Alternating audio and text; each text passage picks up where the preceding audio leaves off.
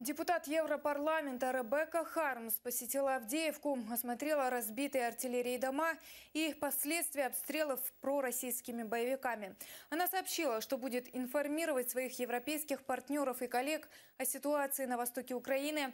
После обострения ситуации на Донбассе в конце января в Авдеевке были повреждены 328 гражданских зданий.